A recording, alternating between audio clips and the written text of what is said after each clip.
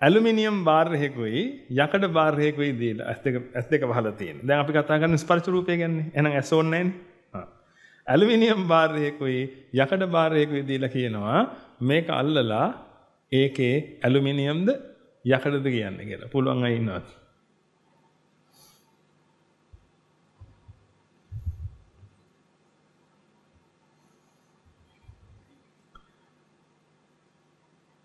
Aluminium sheet එකක් ගමුකෝ. Aluminium sheet එකක් තියෙනවා, යකඩ ෂීට් එකක් තියෙනවා. දෙකම එකම උෂ්ණත්වයේ තියෙන්නේ. හා.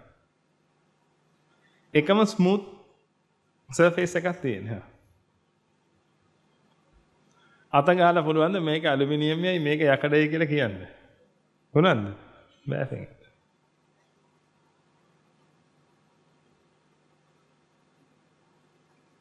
එහෙනම් දැන් ඔබ කිව්වේ සතර මහා ධාතු අඳුර ගන්න පුළුවන් කියලා ඔබට?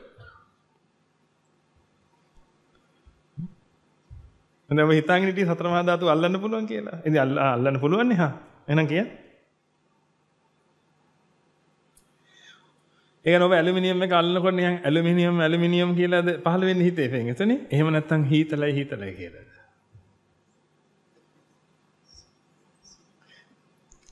යකඩයක් අල්ලද්දී අපි දුම් රත් වෙලා නැති යකඩයක් හීතල යකඩයක් කියලා හිතමු. ඒ යකඩේ අල්ලද්දී ඔබට එන්නේ යකඩ යකඩ කියලාද නැත්නම් හීතලයි හීතලයි කියලාද? එංගසනේ ඔබට සතර මහා ධාතුව නෙමෙයි ඔය දැනෙන්නේ. දැනෙන්නේ පින්තුනේ එක්ක පීඩනය. එහෙම නැත්නම් උෂ්ණත්වය. ඔච්චරයි දැනෙන්නේ. තරුණ කොල්ලනේ. දීග යන්න කලින් දෙපාරක් හිතපියා. පොඩ්ඩක් ඇවිල්ලා මේවා ඉගෙන ගනියව. අවුරුද්දක් අපිත් එක්ක හිටපියා.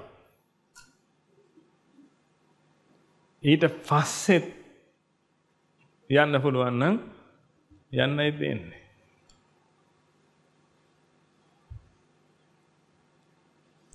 ඔබට සතර මහා ධාතුව නෙමෙයි ඔය අහුවෙන්නේ පින්වතුනි. සතර මහා ධාතුව අහුවෙනවා නම් කියන්න සතර මහා ධාතුව කොච්චරක් තියෙනවද කියලා. ಜಾතිය මොකද්ද කියන්නේ? අල්ලලා. දැන් ඔබ කියයි දැන් ඔබ අහන්න තියෙන ප්‍රශ්න මම අහන්නම්. හ්ම්? නැත්තම් ඔක්කොම ප්‍රශ්න අහන්න ගත්තොත් එහෙම වැඩක් කරන්න වෙන්නේ නැහැ නේ.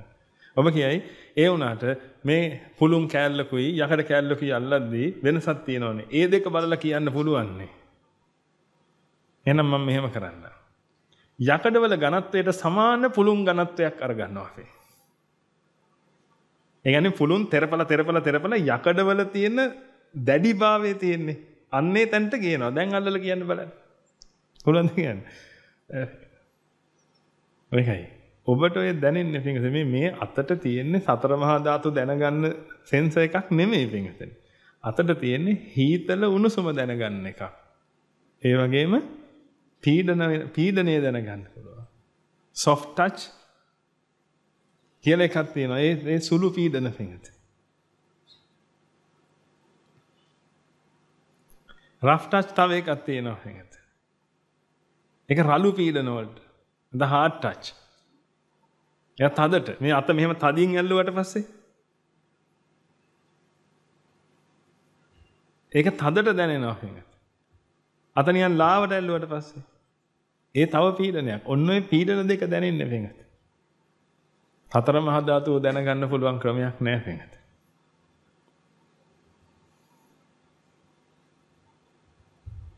දැන් මොකද කියන්නේ? ඒකයි කියන්නේ මේ ආයතන විග්‍රහය ඔබ හරියට කරගත්තා නම් පින්වතුනි මට තේරෙන්නේ නැහැ ඉතින් එතනින් එහාට ඔබ කොහොමද ලෝකේ ජීවත් වෙන්නේ කියලා. හරි. ඒකයි මම කියේ හොඳ වෙලාවට මේවා තේරෙන්නේ නැත්තේ පින්වතුනි. නෑ තේරුණොත් එහෙම දැන් ලොකු විපර්යාසයක් නේ එතනින් එහාට. අපිට මේ බිල්ඩින් හදලා ඉවරයක් නැති වෙනවනේ.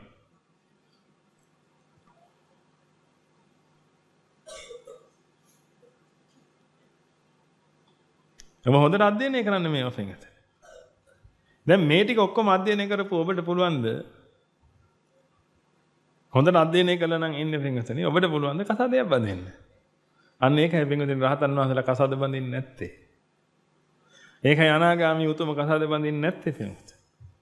ඒකයි මේ මාර්ගයේ යන යතිවරයෝ කසාද බඳින්නේ නැත්තේ. කසාද බඳින්න ඕන් නැති නිසා පින්වතුනි. නැතුව අනේ කසාදයක්වත් නෑනේ නින්ද නෙමෙයි. ඕන් නැති නිසා.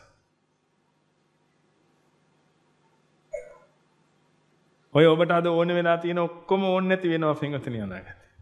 බණ ඇහුවොත්. ඒකින්ද අහන්න එපා බණ. ඇයි ඒ? මොකද ඔබ හිතන් ඉන්නවා පින්වතුනි ඔබට ඕව ආස්වාද දෙනවා කියලා. හේතුව ඔබ 1000න් ඉන්න වෙලාවට ඒක ඇසුරු කරද්දී මොකක් වෙනවද? ආස්වාදයක් එනවා. මොකද 1000න් නිදහස් වෙන්න නිසා. ඔබ හිතනවා අර වස්තුවෙන් තමයි ආස්වාදය එන්නේ කියලා. ඒක නිසා ඔබ හිතනවා ඒ වස්තුව වෙනුවෙන් මා ජීවත් විය යුතුයි කියලා. ඒක හරියට කකුල මේ දනිස්ස රිදෙන මිනිස්සෙක් ඉන්නවා. ඒ මිනිසයාට පෙන්වදෙන කිහිලි කරුවක් දෙනවා වෛද්‍යවරයා. මේ කිහිලි කරුව මේ මිනිසයාට පුදුම ආස්වාදයි. ඇයි? දනිස්ස රිදෙන්නේ නැන්නේ. ඒක නිසා මේ කිහිලි කරුව දාගෙන ගිහිල්ලා පෙන්වතුනි ටික කාලයක් යනකොට දනිස්ස හොඳ වෙද්දී මේ මේ මිනිසයා කල්පනා කරනවා දැන් කිහිලි කරුව අයින් කරන්න වෙනවා මෙච්චර ආස්වාදී වස්තුවක් අයින් කරන්න වෙනවා කියලා තව ගලක් අරගෙන දනිස්සට ගහ ගන්නවා පෙන්වතුනි. කිහිලි කරුව අයින් කරන්න වෙනවා. අන්න ඒක ගොනෙද්ද ගොන් රජෙද්ද? හ්ම්? ඔබ කියන්නේ? ඔබ කියන්නේ? අන්න ඒක එක් ඉතුරු ටික මං කියන්නේ ඉතුරු ටික ඔබ කල්පනා කරලා බලන්න. ගෙදර ගියාම සමහරට තේරෙයි.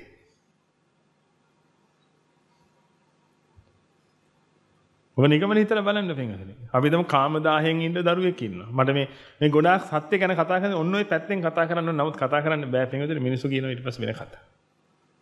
මිනිසුන්ට උත්තරයක් දෙන්නත් බෑ. හේතුව කර්මය ගෙවන්නම ඉපදිච්ච જાතියක්. පොඩි පොඩියට දේවල් කියන්න. අපි දමු තරුණ දරුවෙක් ඉන්නවා කාමදාහයෙන්. දාහේ දරාගන්න බැරුව මේ දරුවා කාන්තාවක් එක්ක හැසිරෙනවා. ඒ හැසිරෙද්දි වින්ගතනි ඒ දරුවට ආස්වාදයක් එනවා. හේතුව මොකද? අර දාහේ නිසා ඒ දාහෙන් නිදහස් වෙන්න හම්බ වුණා. අර මොට්ටකමට වින්ගතනි මේ දරුවට හිතෙනවා ඒ ආස්වාදය කාන්තාවකින් ආවේ කියලා. අර දාහෙන් නිදහස් වීමයි ආස්වාද කියලා තේරෙන්න තරම් බුද්ධියක් නැහැ. තාම ප්‍රඥාව මෝරලා නැහැ. ඒකට හිතෙන්නේ කාන්තාවගෙන් ආවේ කියලා පෙන්වතනේ. ඒක නිසා දැන් ඒක කාන්තාව සරණ යන්න බලනවා පෙන්වදෙනි පුළුවන් තරම්. මොකද කාන්තාව ආස්වාදයි කියලා. ඒකට මතක නෑ අර පෙලීමෙන් නිදහස් වෙන්න උදව් වෙච්ච එකක් විතරයි ඔය කියලා.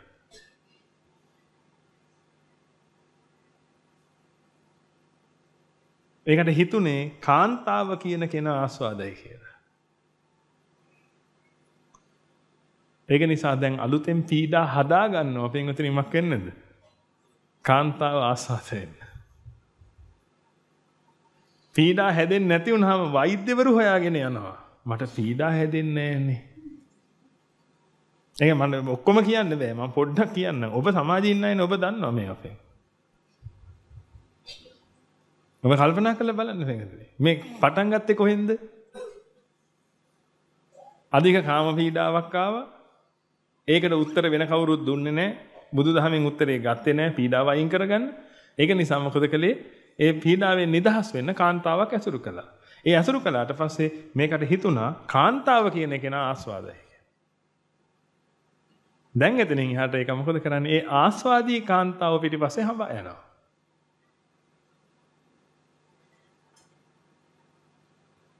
ගොන් නැද්ද?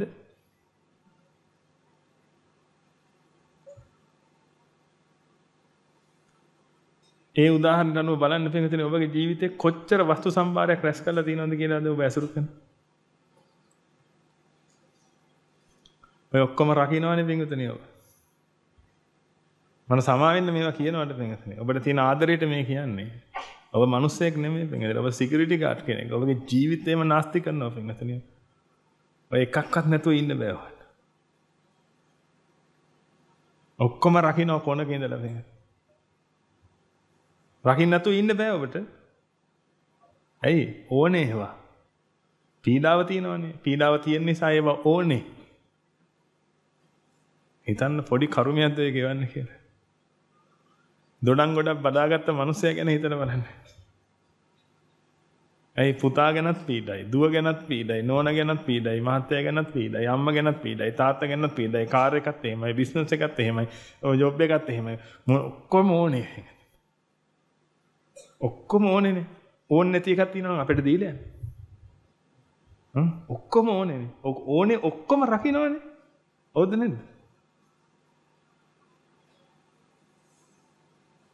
නිදහසක් තියනවද මේක? මම මේ ගැන අතාරින්න කියලා නෙමෙයි. ඕක ඒව නෙමෙයි අතාරින්න ඕනේ මේකට. ඒව අතාරියොත් ඔබ ගිනි ගන්නවා. ඒව අතාරින්න එපා. ඔබ පීඩාව අයින් කරගන්න. එතන කකුල කැඩිලා. ඒක නිසා දැන් කීලි කරුවක් තියෙනවා. අත කැඩිලා. ඒක නිසා දැන් බැන්ඩේජ් එකක් දාගෙන ඉන්නවා. පටියක් දාගෙන ඉන්නවා. රත්තරන් පටියක්.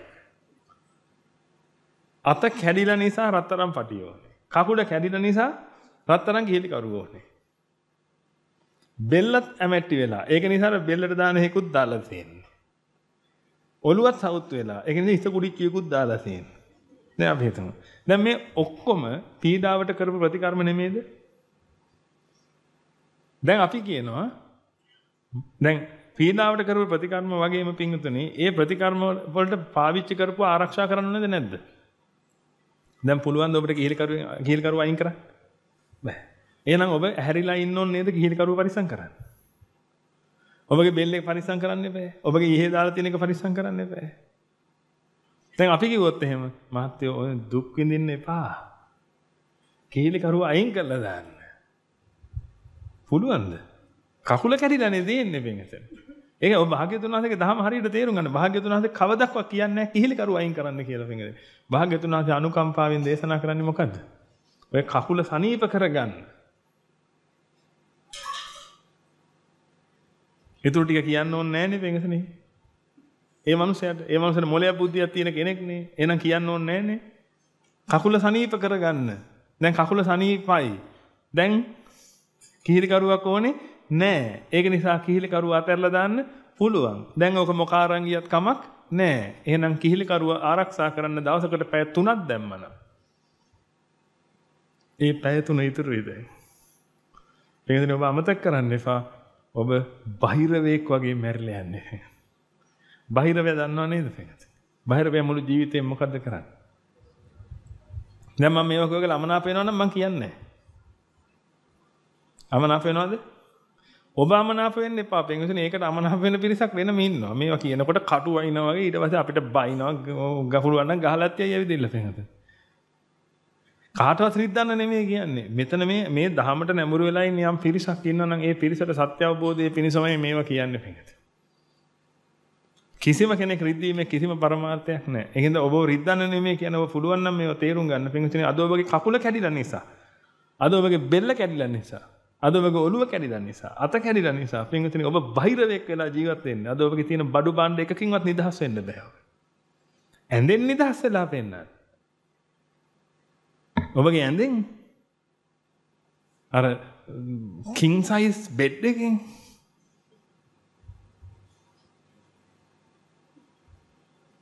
නිකන් කල්පනා කරලා බලන්න මේ කැඩෙන්න තියෙන හැම තැනම කැඩලා නෙමෙයි තියෙන්නේ කියලා. මුළු ජීවිතේම පින්වතුනි ඕව පරිස්සම් කරනවා.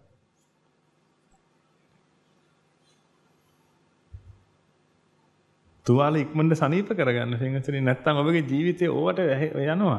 තනිකර බහිරව ජීවිතයක් ගත කරන්න. බහිරව මුළු ජීවිතේම මොකද්ද කරන්නේ? මොකද්ද කරන්නේ? හ්ම්? ඒකට හිමි වස්තු. ඇයි බහිරව හදන්නේ කොහොමද? බහිරව හදන්නේ කොහොමද? රජුරුවන්ගේ විශ්වාසවන්තම සේවකයා වර්ගෙන යනවා රජුරුවන්ගේ අතිරික්ත ධනෙ වලදාපු තැනට.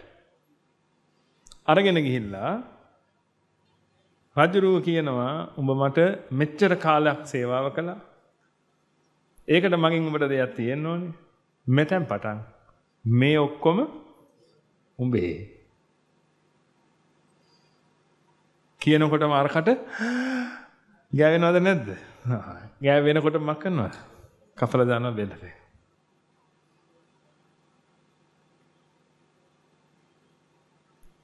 අධික වස්තු තණ්හාවෙන් මැරිලා පෙඟතනේ බාහිර වෙලා උපදිනවා. අල්ලන්න දෙන්නේ නැහැ කාටවත්.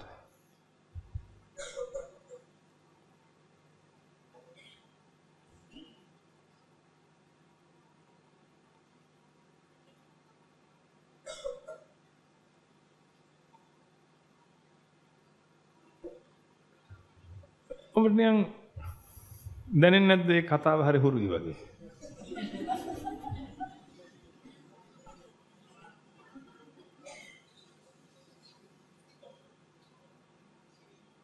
නිදහස් වෙන්න බෑ. ආයිත් මම කියනවා නිදහස් වෙන්න තියෙන අතහැරලා නෙමෙයි. අතහරින්න බෑ. අතහරින්න එපා. මොකක් සනීප කරගන්නද? ඔය තියෙන ඔය කැඩුම් බිඳුන් ටික සනීප කරගන්න. කණින් මුලදී සනීප කරාම ඔය ඔක්කොම අතහැරෙනවා. ඔය වැඩක් නෑනේ. පිටුදෙන කිහිලි කරුව කියන එක දෙයියෝ බුදුන් හා සමානයි කාටද? කකුල කැඩිච්ච එකාට. කකුල සනීප වෙච්ච ඔබට. දැන් ඔබට කකුල කැඩලා නෑනේ. කීයකට ගන්නවද කිහිලි කරුවා? ඔබ වැඩක් නෑ කිහිලි කරුවෙන් පිටුදෙන. ඒකයි. ඔබ ගාව තිබ්බත් කාට හරි දීලා දානවා ඒක. සාමාන්‍යයෙන් කකුල කැඩුනාම ගන්න ගිහිලි කරුවා සනීපුණාන් පස්සේ මක් කරනවද? ඒක කාට හරි දෙනවා පිටුදෙන. පින්නට දෙනවා. ඔන්න ඔතනටයි මේ බණ කියන්නේ පිටුදෙන. අතාරින්න නෙමෙයි බණ කියන්නේ. තුවාල සනීප කරන්න. හොඳට තේරුම් ගන්න භාග්‍යතුන් වහන්සේගේ දහම අත්හැරීම පිණිස නෙමෙයි දේශනා කරලා තියෙන්නේ. පීඩාව දුරු කිරීම පිණිස තියෙන්නේ.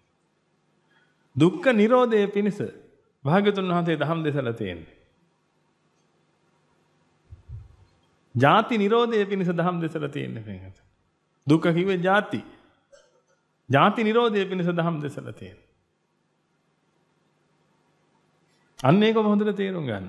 එතන ඒ වෙනකන් ඔබ හොඳට දහම මනසිකාර කරන්න. අවබෝධ කරන්න හොඳට මනසිකාර කරන්න. පින්වතුනි ඔබට මුදලක් හදලා තියෙනවා නම් ඒ මුදල හදලා ඉන්වෙස්ට් කරන්න පින්වතුනි ඔබට සත්‍ය අවබෝධ කරගන්න. මාසෙකට සැරයක් හරි කමන්නේ මේ ආරාමයට ඇවිදලා ස්වාමින් වහන්සේලා ආරාධනා කළා. පුණ්‍ය බාරයට කතා කළාට පස්සේ ඔබට මේ අවස්ථාව හදා ගන්න පුළුවන් පින්වතුනි. ඔබට පැය දෙක තුනක් හරි අරගෙන පින්වතුනි මුලින් ඉඳලා අහගන්න. ඔබට තියෙන ප්‍රශ්න අරගෙන එන්න. සීල ශ්‍රාවිකා බැඳෙන්න බැරුව ඇති, උවැසි බැඳෙන්න බැරුව ඇති පෙන්ගත. නමුත් ඔබට ඒ බැඳෙන්න බැරි සල්ලි හොයන නිසානේ මේ දවස්වල. ඔබ තාම දරු මල්ල පොඩි මොන හරි ප්‍රශ්න තියෙනවනේ. කියන්නේ මොන හරි රස්සාවක් කරනවනේ. එක දවසක් හරි සතියකට දාගන්න. මාසෙකට හරි කවන්න. ඒ දාගෙන පින්විතනි ඇවිදින්න මුල ඉඳලා මේ ටික අහන්න. තේරිච්ච නැති තැන් හොඳට අවබෝධ කරන්න පින්විතනි කතා කර කර. මාව ඉල්ලන්න එපා. මම ඔබට බන කියනවනේ තවත් මරවන්න එපා.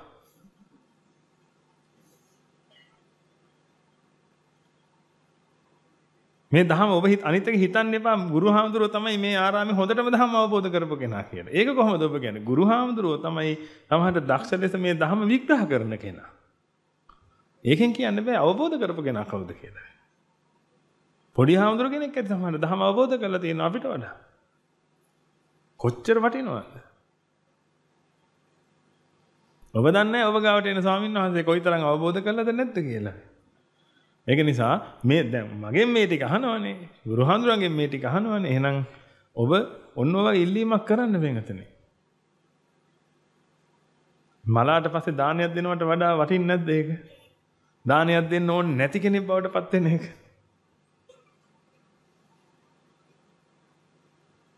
ඔබ සෝතාපන්න වෙලා මලුත් වෙන්විතනේ ඔබට දානයක් ඕනේ නැහැ නේ අය. එක්ක මනුස්ස ලෝකෙ එක්ක දිව්‍ය ලෝකෙකනේ උපදින්නේ වෙන්විතනේ. දානය දුන්නට කමන්නේ මිනිස්සු. ඔබට දානකේ අවශ්‍යතාවයක් නැහැ. ඔන්න ඔය හිතන්න වෙන්විතනේ. කොච්චර වාසනාවන්ත ජීවිතද බලන්න ඔබ ගත කරන්නේ. ඕක නැති කරගන්න එපා. ඔබ දන්නේ ඔබට තියෙන සෙනෙහවන්තකම. අපි ඔබව අඳුරන්නේ නැහැ වෙන්ගදනේ. නමුත් අපි දහම තුලින් ගොඩක් ලං වෙලා ඉන්නේ ඔබත් එක්ක. මේ අපේම පිරිසක් විදියට දැනෙන්නේ. ඒකයි විසි වෙනසක් නැහැ. එනේ මේ ගෙදර ඉන්න ගෙදර හිටපු අම්මා තාත්තව දැනෙන මට්ටමේ දැනෙන්නේ අයියා අක්කව දැනෙන මට්ටමේ නංගි මල්ලිව දැනෙන මට්ටමේ දුව පුතාව දැනෙන මට්ටමේ දැනෙන්නේ මේ හැමෝම පෙඟ.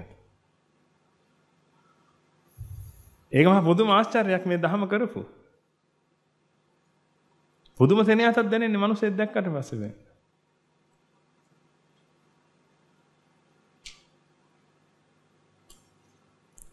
මොකුත් නෙමෙයි ඔබ කරන්න ඕනේ. ඔබගේ ජීවිතයට අර්ථයක් එකතු කරගන්න. දැන් වයසයි නෙවෙයි. දැන් 40යි. 35යි 40යි 50යි 60යි 70යි 80යි.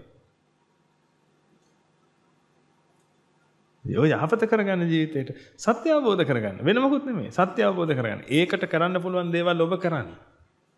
දැන් අද මේක අහගෙන ඉන්නකොට ඔබට තේරෙයි මොකද්ද? මම කොහොම හරි කරනවා කොහොම හරි කරනවා. ඊට පස්සේ හෙට කොහොම හරි කරනවා. මේක කොහොමද? ඒක බැස්සා.